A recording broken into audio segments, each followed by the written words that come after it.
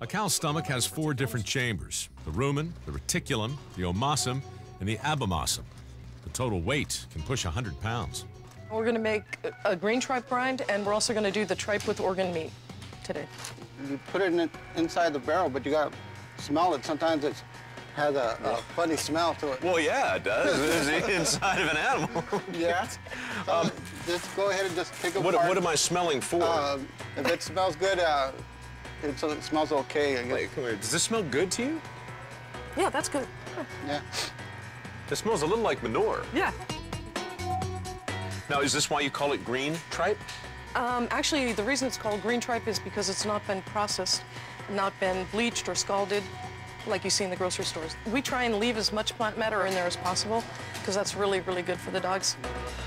Plant matter's good. Okay. Green tripe has many health benefits. It helps in digestion, its rubbery texture strengthens the jaw muscles, and it's basically canine dental floss. How, how will I know when I sniff something that's... Oh, you'll know. You'll, you'll smell it. man. you'll know. There you go. This is one. that's bad? Yeah, it's passable. Nah, no, that's pure. That's pure. It's, it's worse. Yeah, that's They get ass. worse. Uh, Where do the bad stomachs go? To the bad dogs?